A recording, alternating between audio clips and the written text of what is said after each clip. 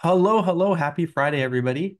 Um, welcome to uh, RLR VMR. It's our first of the new year, and we're very, very thrilled to have a guest join us from very, very far away, where I live at least. Um, will be here momentarily as he switches from his um, uh, morning report to here. And in the meantime, um, I would like to introduce our case presenter, Farah, who is calling in from very, very far away, at least from me. Um, Farah, would you mind introducing yourself to the VMR community? Yeah, I'm Farah. I'm from Malaysia. I'm a physician, currently uh, ID fellow. So this is my first uh, presentations in CP Solvers. So here in Malaysia is uh, 1 a.m. 1 a.m. Oh my gosh. Yeah, Wow. but That's that's okay because tomorrow is our weekend. Wow, that's incredible. Um, Farah, Prof. Rez just joined, and uh, Prof. Rez, we're Uh-huh. graced by uh, Farah's presence. This is her first time presenting a case. Um, it's, it's 1 a.m. in Malaysia where she is now, and yet looking at her, you can't tell at all. Farah, are you a night person? Do you stay awake late normally, or is this unusual for you? Uh, this is, I think, the first time, so it is seldom for me to be a late person. Oh my gosh. Yeah, but I think uh, uh, uh, uh, because this is my first presentation, so I think I would take this opportunity. So thank you so much for giving me the opportunity to present in Oh. It's our pleasure, absolutely our pleasure. Before we talk and uh, connect about medicine for the next hour, I'd love to um, ask you to tell us a little bit about yourself outside of medicine. What do you enjoy doing? Um, basically, um, my hobby is mainly uh, I used to go for baking classes or cooking classes, and then uh, gyms and sometimes go for hiking or marathon. Oh, nice. I love how you just casually said or marathon at the end, unless I misheard you. Um, that makes me believe that you are quite the uh, quite the runner, if that's a casual end to your sentence.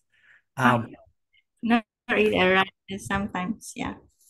I hope you will consider running the San Francisco Marathon one day. I hear it's a, I I probably won't, but I hear it's a really, really cool one. Um, and uh, what kind of physician are you? You said you've already, you're practicing medicine now, is that right? Yeah, yeah. Uh, I'm practicing medicine so for about 15 years. So I'm doing uh ID fellowship Hmm. and yeah, second year. You- So you're in your uh second year of ID fellowship in the context of practicing for 15 years. Oh my gosh. Um, Yeah. Farah, next time maybe I should present a case to you. I'm not sure why you're presenting a case to Prof. Rez and I, but I'd love to pass the mic to Prof. Rez to say hello, and then uh, we can uh, get going whenever he's ready. Thank you so much for, for joining us. Very excited to be here. And I we are ready. Let's let's get going with the case. Okay, sure. So uh, yeah, uh, I'll start with the slide as well as review of the symptoms. Is it okay? So this is uh, my patient, 65 years old female, presented with persistent watery diarrhea for two weeks. So her initial presentation started two months ago with a productive white sputum cough associated with night sweat, loss of appetite, weight loss about 20, 20 pounds in two months. And the symptom getting worse about two weeks prior to ED when she presented with watery diarrhea three to four times a day, which was treated with one course of antibiotics without any improvements. So review of symptoms, systems, no hemoptysis, no shortness of breath, no angina symptoms, even failure symptoms, and she didn't notice any swelling.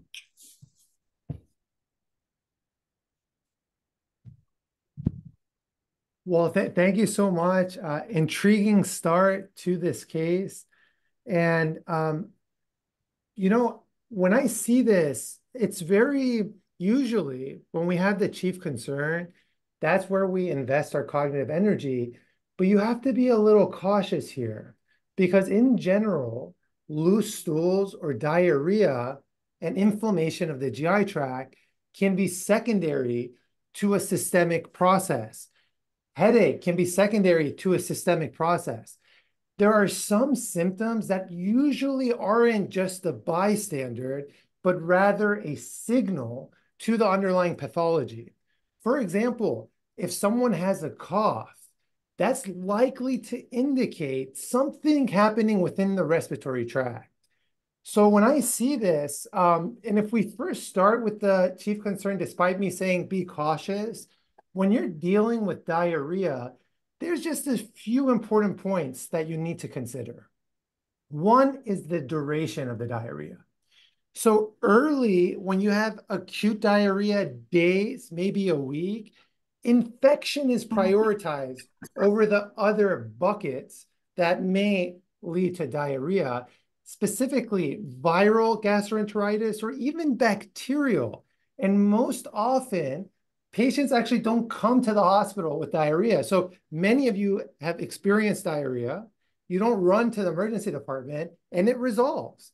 Uh, we're just a bit biased because we work in the hospital. So we see people that are dealing with debilitating symptoms. But it's important to know the base rate. So when people call you and ask for your guidance, you don't just say, oh, you got to go to the hospital because I'm worried about a gastrointestinal lymphoma or I'm worried about TB of the intestinal tract. As the diarrhea progresses in terms of duration, that's when non-infectious etiologies are prioritized. The other really important parameter when you're taking a diarrhea history, especially when you start getting more than four weeks, you're in that chronic uh, nature of diarrhea, is whether it wakes the patient up at night. That's such an important point because if it wakes the patient up at night, you can remove, for example, osmotic causes of diarrhea off the table. And all of a sudden, you might think, could this be something secretory? But when you look at the rest of the data here, there are other clues that can help you sort of advance your assessment of the diarrhea, for which I'm going to pass to the capital R. I'm the little r, Farah. The capital R is going to put everything together nicely for us and put us on track. Rafrez, um, you're a, great diagnostician, but a poor speller. I think uh, your R is is the the capital one, my friend. And I I agree with you. I think that the core attention in this case is to understand where this disease lives, and um, immediately when you hear that a um, process is involving multiple systems, here in the chest with the cough, and in the abdomen with the diarrhea, the initial instinct is to think this is a systemic disease. Um, and that instinct has to be tempered by the fact that pain isn't the only thing that the body can refer. We all are very accustomed to the idea that if somebody comes in with chest pain and arm pain at the same time, does not mean that they have a disease in both their chest and their arm we immediately think of the possibility of an MI or aortic dissection and recognize that the arm symptoms represent a referred process with no intrinsic disease where the patient is pointing. And I think the same uh, exercise is done here. Is the cough referred? Is the diarrhea referred? Or are they truly part of the disease that actually lives in the respective organs? And with time and experience, you realize, well, actually, in a patient with chest pain and arm radiation, the disease probably lives in the chest and is radiating to the arm, as opposed to the very reasonable consideration that the disease lives in the arm and is radiating to the chest. And so you learn with pattern recognition about where to invest your energy. And here, the reason that you need to invest a tremendous amount of energy in this patient is because that they are literally wasting in front of you. So um, here, the crux of this case revolves around the finding of an alarm sign that the patient is losing weight. And mm-hmm. so um, the evaluation will probably center around weight loss um, and use the cough and the diarrhea as clues. But I will be very happy with a diagnosis that explains fundamentally the weight loss and softly or doesn't explain a little bit of a cough and a little bit of diarrhea. And I think that's the crux of this case, and that's how I would work it up. And I would love to pass the mic back to Prof. Rez because I think he teaches us weight loss in the best possible way with a lot of hand gestures. I can't wait to see. but but I will pass out one piece of advice. Everyone with weight loss needs to have a customized evaluation according to their circumstances, with one exception. And that exception is everyone needs an HIV test. Everybody. So we need to tailor the evaluation to the clues we have here. But no matter what you hear, you need to get an HIV test, especially when you hear hmm, something in the lungs and something in the GI tract. But Prof. Rez, I'd love to uh, I'd love to uh, uh, share your wisdom with the crowd about how you think about weight loss. I think it's a really good way that you teach it. Absolutely. And Rob, I just want to say your point is such a valid one. And just a few months ago, we had an 80 year old man who was having weight loss and night sweats. And um, there was a delay in sending that HIV, but ended up having HIV complicated by diffuse large B cell lymphoma. So it's very important that HIV uh, test. And the funny thing about it, on one of our RLR episodes, Robbie's like, if you could know one thing about this patient, what would it be? And he was getting at was HIV, but I didn't say that. In any case, with weight loss, it's pretty, I think, straightforward in terms of the following you have to ask the question, is there inflammation or not? So as far as presenting, we're going to be looking for clues of inflammation. And I would argue, even though we don't have the temperature yet, we don't have the white count yet, the ESR-CRP, the fact that there's cough and there's sweats and there's diarrhea, it's really prioritizing inflammation in my mind, though you can definitely have non-inflammatory causes of diarrhea that lead to significant weight loss. And once you do inflammation, and that's what Robbie did here, he took weight loss, he said inflammation, he said, is the lung and the GI tract giving us clue to where the inflammation may be originating from, where the disease may exist. On the other side of the um, bucket beyond inflammation is just look at Robbie drink his, his uh, cup of water or coffee. Yesterday, I went to the dentist because we're, we're taking care of our health, right, Robbie? And the dentist said my teeth are stained. And she's like, How many cups of coffee do you drink? And I said, Oh, just four a day. And she's like, Man, you gotta, you gotta cut it back. But anyway, she polished the teeth, but I have coffee here, so I'm gonna stain it again. But in order for Robbie to grab that um, mug and drink from it, you have to have motor skills. You have to have access to the water. You have to be able to put it to your mouth and suck on that straw or chew that food. So at each one of these steps, you can have a lesion. You have to be able to swallow. Once the food is swallowed, you have to be able to absorb it. You have to be able to empty it from the stomach, be able to absorb it from the GI tract. So you can have weight loss if you have a lesion at any of those steps. And then there's one other category that you have to always consider. And this is an important one. Is what if someone ha doesn't have inflammation, has access to food, can chew it, can absorb it, what can lead to weight loss despite a regular appetite and normal eating? I'm going to leave that for the chat, but I would love to hear more from you, Farah. Um, past medical history, uh, she has long-standing diabetes and hypertension for 20 years. And two years ago, she had ischemic heart disease and uh, coronary artery bypass graft was done and her medications list aspirin 100 milligram OD. She's on bisoprolol 2.5 milligram OD, fenofibrate 145 milligram once daily, atorvastatin 40 milligrams on night, and pantoprazole 40 milligram once daily. She's on tap metformin 1 gram BD and also insulin subQ Actrapid 18 unit TDS and subQ insulatard 16 unit or night. For the family history, not relevant, no family history of malignancy. Uh, social history, she's uh, from Malaysia, married with three children, retired dentist, non-smoker, non-alcoholic, and she never had any contact with PTB patients, and she did not any high-risk behavior or recent traveling uh, not, not to have any allergies to any drugs, to foods and drugs as well. Yeah. Uh, this is super helpful. Um, thank you so much, uh, Farah. I think that um, the context that this patient has is very, very interesting. And I think it's one in which we're being set up for a vascular disease process. She's certainly at risk for many. Um, and the fact that she already has had a significant ischemia. But I think you struggle to um, connect uh, a vascular hypothesis to inflammatory weight loss. And this should make you think for a moment about how ischemic disease can contribute to weight loss, and the biggest and no misdiagnosis is chronic mesenteric ischemia. It's not a good fit for this case for many reasons because the illness script doesn't quite match it in terms of pain predominance. But I think it highlights the importance of considering this disease in anybody who has vascular risk factors, especially recognizing that it's probably one of the only few chronic diseases that can become deadly in a second meaning that a patient with chronic mesenteric ischemia remains at an elevated risk of an acute on chronic event um, similar to other uh, chronic diseases like adrenal insufficiency. So I think that thought would cross my mind based on the past medical history. In terms of the medications, I think that there are very few medications that we find implicated as the causal in a patient with shortness of breath.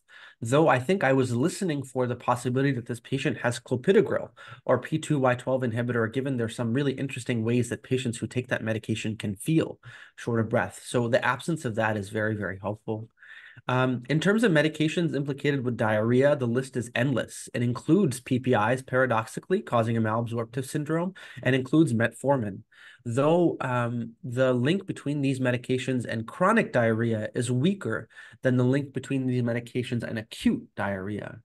One notorious class of medications implicated in chronic diarrhea are the uh, ARBs, the angiotensin receptor blocker, with olmesartan being the most famous, but the other ones also being described. So I was listening for that, especially hearing that she has diabetes and hypertension, but we see that that's not present. So I don't see a robust connection between either the medical history or the medications, but can see how um, that might be the case where things be a little bit different. So she had a little bit more pain than you might think of mesenteric ischemia. If she wore on an ARB, um, you might think of that uh, relevance. Um, but the, the truth is that none of those things explain the whole picture because they only focus on the GI tract and nothing with the meds. Um, I think that um, the fact that this patient is a dentist is reminding Prof. Rez again to maybe sip his his coffee uh, more slowly. But I don't think that um, uh, that has any robust connection with uh, the current syndrome, though I wouldn't be surprised. I think it goes to show you that the most valuable history in a patient with chronic weight loss or subacute weight loss is any markers of inflammation or any uh, disease risk factors for inflammation, an underlying immunodeficiency, um, uh, immunosuppressive medications, and exposure history. So the fact that this patient person is from Malaysia, not too surprising uh, given your residence, uh, Farah, but I think when it, when we get there, we'll have to prioritize the possibility of infections related to that exposure that may explain the weight loss. So definitely keeping track of that. Um, but that's what I got for this aliquot. I'm curious what other thoughts you had, Prof. Rez.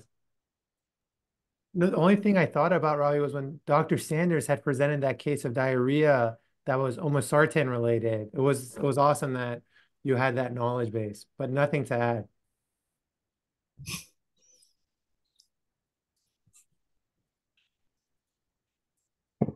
Arthur, tell us more. Yeah, please go ahead.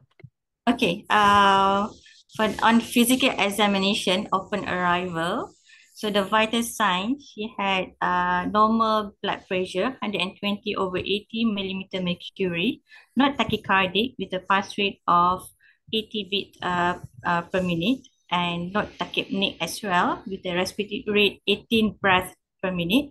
But she was febrile uh, with temperature of 38 degrees uh, Celsius, and SpO2, it is good under room air. And finger state at that time was 16 millimole per liter. Clinically, she was alert, mild dehydrated with coated tongue. And for the specific examination, cardiovascular examination, first and second heart sound was normal, no cardiac murmur, no infailure, and uh, respiratory uh, system, uh, uh, it is vesicular breath sounds abdomen soft non-tender, no hepatosplenomegaly and no ascites, no stigmata of chronic liver disease, there is no lymphadenopathy and no pedal edema.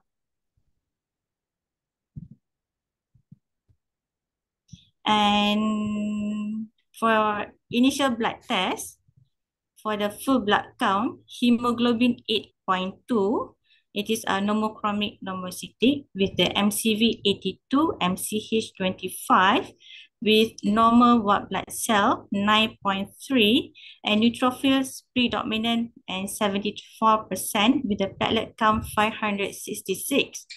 And renal profile at that time was acute kidney injury with the urea 23 millimole per liter and serum creatinine 152 micromole per liter with the potassium 6.0 millimole per liter.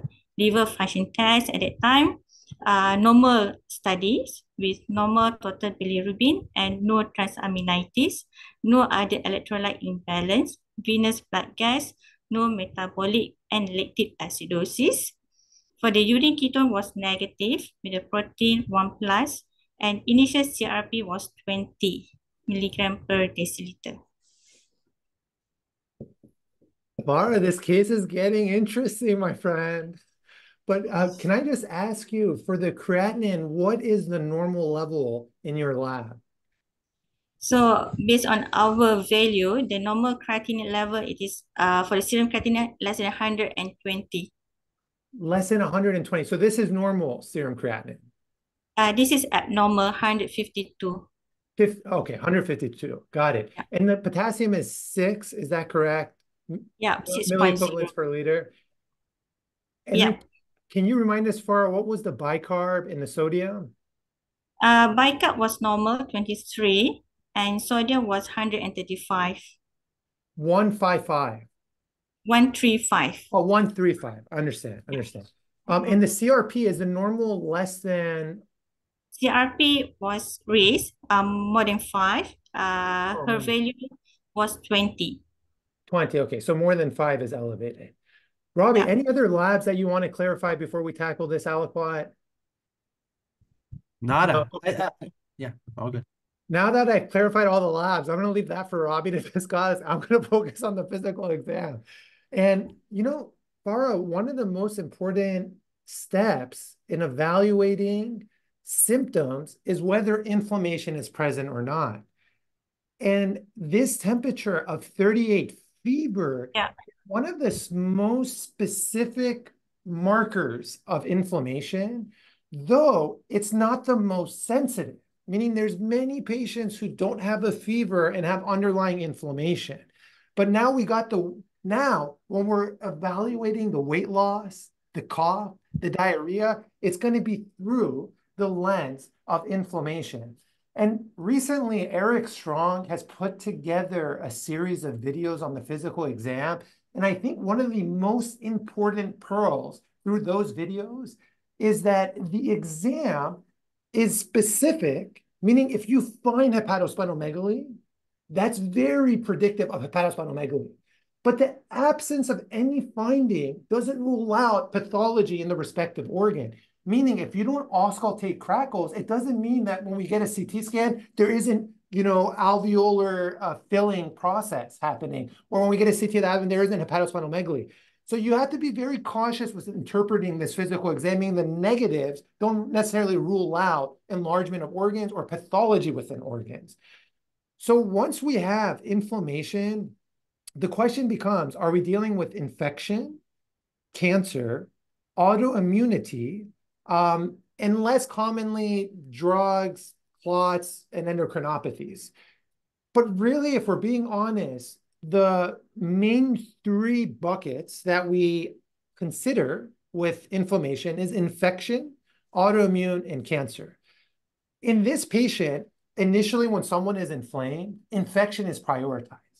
Once that duration of symptoms persist, this is where you don't rule out infection, but you start thinking about uncommon organisms. I didn't say atypical because, Robbie, I feel it's confusing when we say atypical. Are we talking about atypical bacterial pneumonia? Or no, I'm saying uncommon organisms, meaning things like mycobacteria. And when you think of mycobacteria, immediately you got to think of its cousin, histoplasmosis. And when you think of histoplasmosis, immediately you got to think of its second cousin. I'm joking here, but you, you get the gist mycobacterial infections, fungal infections, viral. Like, could this be CMV causing pneumonitis and diarrhea? It certainly can be. So we got inflammation, then we use the symptoms to help guide us in what kind of infections might be at play. So if we say infection and we say uncommon, what infections have a tropism for the lung and the GI tract?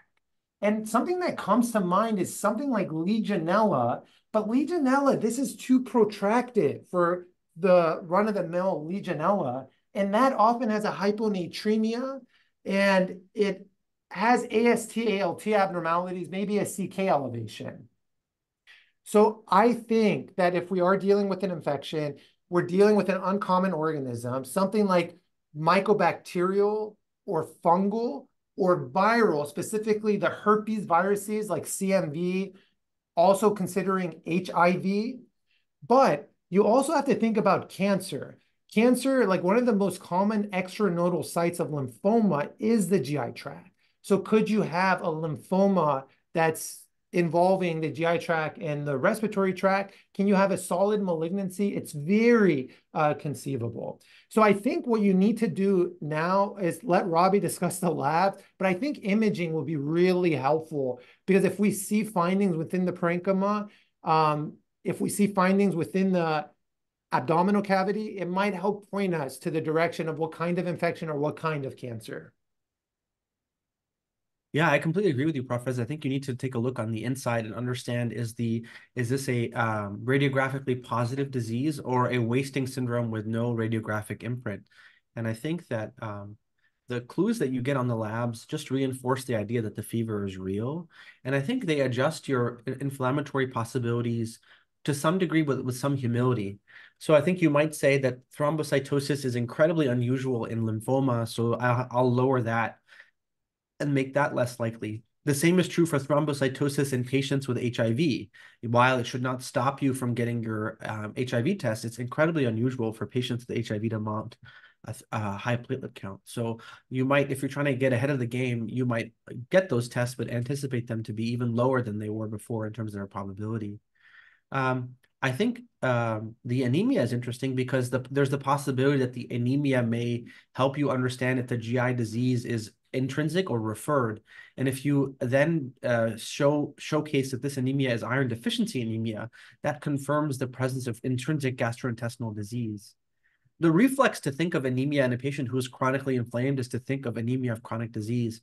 And while that's a very likely explanation, I think that if you assume that, you miss out on the opportunity to clarify iron deficiency, to clarify hemolytic anemia, and to clarify um, additional progress you can make on it to help you understand this disease process. So I think those tests can really, really help you um, make further progress. But I agree. I think imaging is the major next step. Um, and um, that'll really allow us to figure out if it's a systemic disease, and if so, where is its primary origin? All right, Farah, mic to you.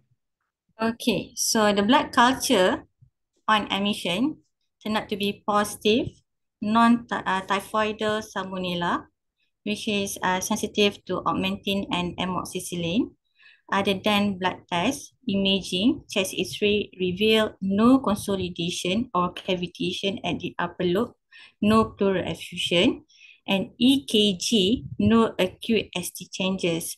Thus, she was treated as Salmonella bacteremia and initially treated uh, empirically with IV rocephin, 2 gram OD. Subsequently, we de-escalate to IV uh, amoxicillin, 2 gram for hourly.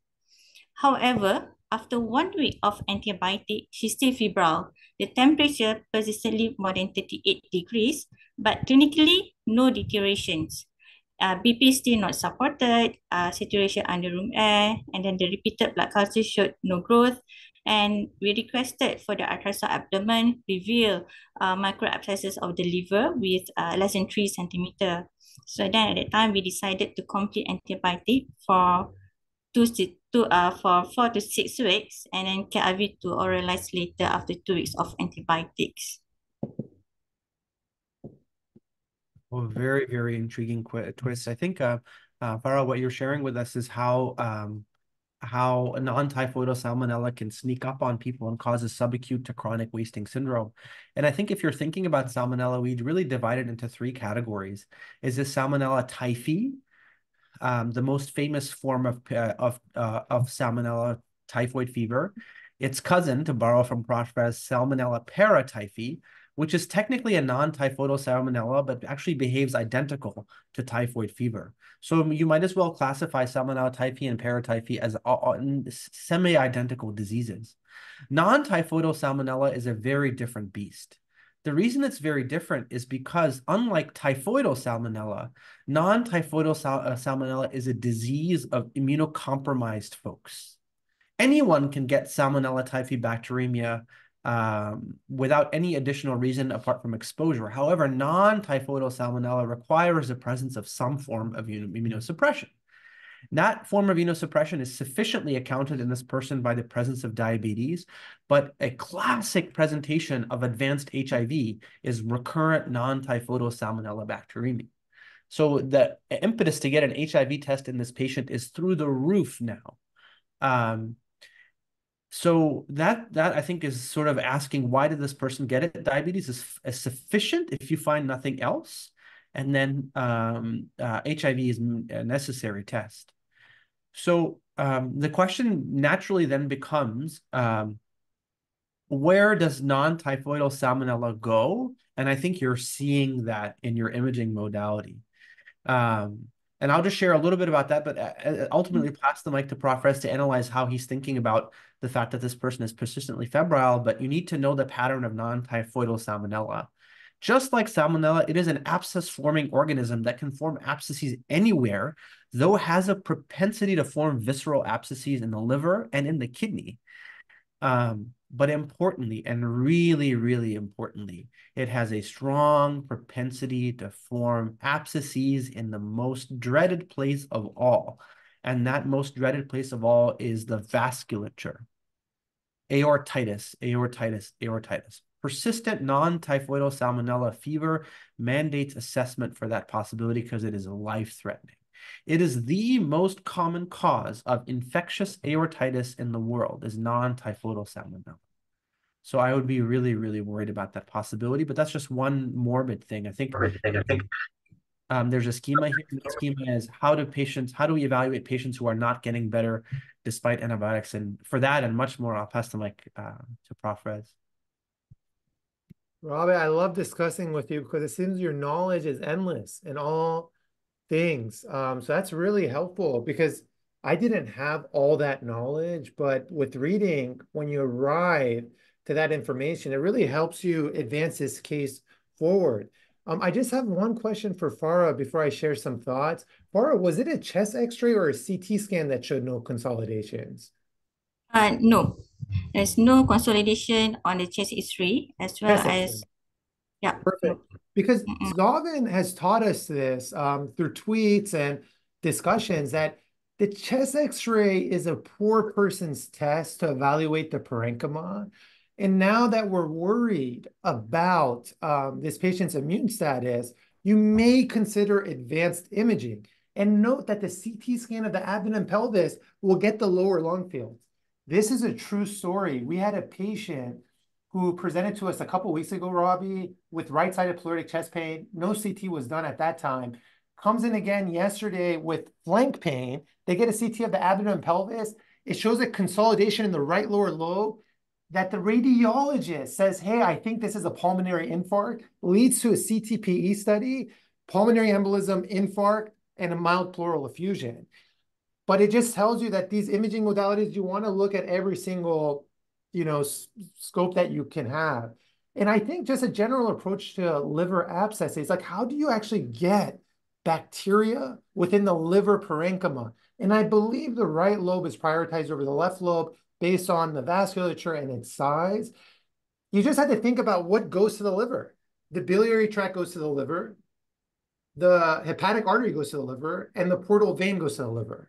So the fact that we have a GI infection, you can easily conceive that the portal vein has taken this bacteria to the liver where it's made microabscesses. So even if you don't have a strong foundation on non-typhoidal salmonella like myself, once you start antibiotics and the patient isn't getting better, you just apply your antibiotic failure schema. And in that schema, if you think it's still an infectious process, the question is, is this an issue of source control? Or is this an issue of another diagnosis being in existence? Like Rabih mentioned, could this patient have HIV? And if they are immunocompromised, could there be another infection at play that we're not yet treating? So I think that's what I would prioritize from the infection perspective. Like, is it a source control issue? These abscesses are so small that you wouldn't go in and drain it. You would still just treat with antibiotics. But we don't know if the infection has gone anywhere else or if there's another kind of infection, or is there another diagnosis at play? Remember, patients with HIV aren't only at risk of infection, but they're also risk at risk of malignancy. So I think, Farah, what I would do next is um, get better cross-sectional imaging if that tool is available, specifically of the chest. I would send an HIV, and um, mm. and I'd go from there. So unfortunately, she's still febrile uh, still not able to discharge after two weeks of antibiotic because of persistent fever, temperature more than 38, temperature 38 degrees, and her serial CRP persistently raised 20, uh, 30 to 20, and we did PCT serially, and it is low. It was low, less than 0 0.2. So, and then I agree with Prof. So we did CT thorax, abdomen, and pelvic so because we suspect of uh, either differential diagnosis and also the source control, so it is still consistent with micro abscesses of the liver, 3 centimeter, but no limb synovity, no intra-abdominal collection, even uh, not able to appreciate any mycotic aneurysm. So other investigation that we did, bronchoscopy. So it was normal study, and it is it was negative for the broncho uh, alveolar lavage for the PCR for the RESPI panel 33 and echo no vegetation all TB workup negative for the sputum AFB even MTB GeneXpert virus screening including the HIV also negative quantitative tissue screening also negative so in view of persistent fever not resolving liver lesion despite three weeks of antibiotic. So we decided to proceed with liver biopsy and it turned out to be diffuse large B-cell lymphoma. So after that, she was transferred to hemato-onco for chemotherapy and further management. Wow. Um, wow. What a, a, uh, a surprising finding. Let me ask you, Farah, was an LDH ever sent throughout her hospitalization? Uh, after that, we did send because initially, yeah, initially we planned for aspirations, but then our uh, intensivists turned out to be they did uh, they decided to do uh, liver biopsy instead of the liver aspirations.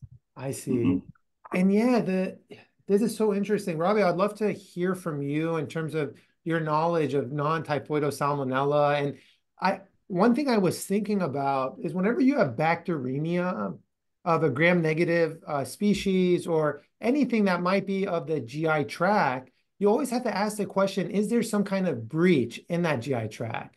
And we think of this in terms of cancers, we think of this in terms of other infections. Like I saw Strange's in the chat, which was phenomenal. And that was actually the first time I met Rabih. It was when he, a patient had gram-negative bacteremia at morning report. He's like, oh, with the with the the findings of the patient's demographic was this Strange's. And I was like, wow, it's like it was it was really epic. So I'm curious to know from Rabih and from Farah if this is something that we need to be concerned for when we have non-typhoidal salmonella. That is like a lymphoma you know, breaching the GI tract. And this tells you in medicine, nothing is absolute. Like that platelet count, we would never think that, but maybe you have two opposing features here, and maybe you're not involving the bone marrow with this. It's like primarily of the GI tract and, and the liver. But I will stop speaking because I don't really have anything to add, and we'd love to hear from the both of you. I know, I know, Farah, you're an ID uh, uh, guru, so I'd love to hear from you. I, I just know, I don't know um, a, a lot about this space, honestly. Um, I'm surprised the patient has had uh, that. I'm surprised that the patient has diffuse large B cell lymphoma um, as the final diagnosis, but not surprised that you uncovered an ultimately an underlying immunocompromising condition. And I think that's the biggest lesson to learn about non-typhoidal salmonella is to realize that it is actually always going to be secondary to something. And I think um, I'm glad that you didn't fall for the lazy diagnosis of secondary to diabetes, um, because that equally would have been sufficient. But I think that you were very shrewd in how you went about trying to prove what that secondary underlying condition is, because you demonstrate persistent inflammation with a high CRP, and you're using the procalcitonin um, low as a clue that it's not the salmonella itself. And I think therefore proving a disconnect between uh, uh, the fever and the inflammation. Um, though I would never have imagined that the underlying diagnosis of B-cell lymphoma, ultimately, you were very shrewd in, in um, pointing out the disconnect between infection and inflammation and you found a, a cancer, which is a really outstanding pickup. And would love to pass the mic to you to see how you were thinking about this, Farah. Yeah, uh, we were struggling uh, initial. So because our our working diagnosis, uh, we we more towards we thinking towards uh, infective origin instead of other differential diagnosis. But then uh, it is uh, initially was supported with the blood culture positive, and then subsequently because of the fever, CRP was raised and low PCT, and then persistent persistent microabscesses after about four, three, three to four weeks of antibiotics. So we need to think about other differential diagnoses so because we have another cases, similar presentations, microabscesses in the spleen and turned out to be lymphoma. So, and then we decided, I think we need to work out for other differential. So most likely it is a lymphoma instead of TB, uh, this part of TB. So, and then decided to do the liver biopsy. So I think the salmonella, non-typhoidal salmonella bacterium, it is just like uh, concurrent the, the initial presentation. That's that's so well said, uh, Farah. And I think another example might be that you would never be happy saying, "Oh, this person has PJP pneumonia." Full stop. That's it. End of the diagnosis. And I think you're teaching us today that you should never say that about non-typhoidal salmonella. That there always has to be oh. an underlying immunocompromising lesion. Prof. Red? Rabih, uh, Fernando Valente just made a phenomenal point, and I sort of wish I would have asked because I was about to ask you this question. Not that I knew this was like I was going to ask you, what do you make of this potassium? I don't. I'm not as familiar with the creatinine in microliters, but maybe Fernando, can you unmute yourself and share what you put in the chat? Hi, sure. Uh, I was just thinking that uh, usually when patients have uh, diarrhea, we tend to see uh, lower potassium so uh, a potassium of six, it's not like sky high, but I would expect it to be quite lower in the setting of diarrhea. And I was thinking if it could be a clue to to tumor lysis, for example, now that I know that it, it's lymphoma. Thank you so much, Fernando. I think that was such an astute pickup. Um, and those are the types of pickups that I think we learned through VMR is just trying to explain the unusual. And that may have prompted a uric acid, maybe an LDH and other laboratory findings of uh, TLS. But thank you so much. Uh, Farah, any other comments before we pass the mic to our dear Ayesha to teach us? I just want to thank you from me and Rabih and the VMR community. It's like 2 a.m. there. Uh, we hope you sleep well. And thank you for, for being here with us today and making our day. Thank you so much, Prof. and. So I don't have anything, and I think what I learned about is non-typhoidal salmonella. It is, yeah, I agree just now.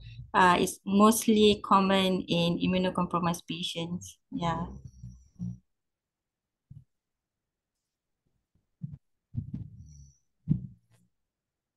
Thank you, Farah. All right, Aisha, we're ready for you whenever you are. Okay, thank you. Hi, everyone. Good morning. Thank you so much, Dr. Farah, for this amazing case and capital R and small r. Thank you for the discussion. Um, so for today, we had a 65-year-old female with persistent watery diarrhea for two weeks. So when we talk about diarrhea, we usually think about if it's secondary to systemic process, and then we also think about duration if it's acute or chronic. When we're thinking about acute, we're considering it to be days, a few days. Then we want to prioritize infection, and this could be viral. We start with the basics, viral and gastroenteritis, or or even bacterial. And then when it becomes chronic, when the duration prolongs, we think about non-infectious etiologies. So when we think about this, we want to consider the the the type of diarrhea it is. Does it wake up the patient at nighttime? Because if it does, we can remove osmotic causes of diarrhea and think more towards secretory causes. And then our patient also had cough along with the diarrhea. So when we have these two, we want to think about if it's referred or is it truly due to a systemic process? And as the wise capital R said, pattern recognition aids in focusing in a set differential diagnosis. So when we want to when we look at the types of what what happens to the what is happening during the cough during the diarrhea that can help us in uh, figuring out a set differential. And then we also had weight loss in our patients. So any patient that usually has weight loss we should always get an hiv test. And even though weight loss uh, means that we should give them a custom evaluation tailored to each patient um, taking into consideration what signs and symptoms they have, we should always get an HIV test. And then when we have weight loss, we should look for any clues of inflammation that are present. Excuse me. Um, in our patient, there was cough, there was sweats, there were diarrhea, which helped us prioritize inflammation. And then one of the, when we were looking at the medications, we didn't see anything that was very alarming because we know that ARBs um, can cause possible cause. It is a possible cause of diarrhea. In this patient, he she wasn't taking any, so that wasn't one of our differentials. And then when we are evaluating symptoms, our one of our most specific marker for inflammation tends to be um, physical exam. Does it make sense? It's not very sensitive, but it is specific. And then um, carrying along with inflammation, we have three buckets to consider for inflammation. It can be either due to an infection, due to cancer, or it can be autoimmune. If it's an infection, we want to consider uncommon organisms, so mycobacterial, fungal, viral. Again, HIV comes into play again. So this makes us really want to think about getting an HIV test done for this patient. And then for cancer, we want to think about any lymphomas that are involving the GI tract. And then we come to the imaging. The imaging is very important. What does it look like? Because it can help us determine if it's a systemic or a primary origin for the diarrhea or for the abscesses. And then uh, we were also looking at the anemia because anemia can help us determine if there is something going on specifically in the GI tract, if it's an intrinsic, co intrinsic cause causing the anemia, or is it a referred cause? And then once we got the imaging, further imaging, we were considering salmonella versus non-typhoidal salmonella. Salmonella, we usually, it can happen to any patient. So our patient actually had diabetes. So we were thinking maybe they're immunocompromised. Non-typhoidal salmonella is a disease of the immunocompromised. So we were leaning towards that. And we also had abscess formation in our patients. So abscess for abscesses can form um, anywhere in the body, but the liver and the kidney are the most important. And we should also consider abscesses in the vascular vasculature. And then we had a chest x-ray. Chest x-ray is not very good at evaluating parenchyma, so we should consider advanced imaging like CT scan for the abdomen. And then when we're looking at liver abscess, we should prioritize the right liver lobe over the left due to the vasculature and the size. And then as the wise little r said, when there when the patient is not prior when the patient is not recovering after antibiotics, like our patient had uh, recurrent fevers, we should think about an antibiotic failure schema. So there's three things to consider here. Is it an issue of this of source control? Is um, is it an issue of an alternative diagnosis? So again, HIV here. We were really leaning towards doing an HIV test. So should should we do? Is it an issue of an alternative diagnosis, or is it an alternative infection that is not being treated that we have not found? And yeah, I hope I covered everything. Thank you. Covered everything. Oh my god. Oh, we see we're ours are colliding into one average size. But I'm dead. R. The little R is dead. Aisha, that was amazing. Welcome back to the teaching points uh landscape. I think it's been the return of the legends with Umaima yesterday and you today. It was really, really well done. Thank you so much. Uh thank you again, uh Farah, and thank you, Prof. Rez, as always. Hope you guys have a wonderful day. And um, we have a very, very special treat with our friends from Baylor joining us for IMG VMR tomorrow at the exact same time today. So um, hope you guys um, who have the time will be able to make it then. Bye, y'all. Bye. Thank you, Huting.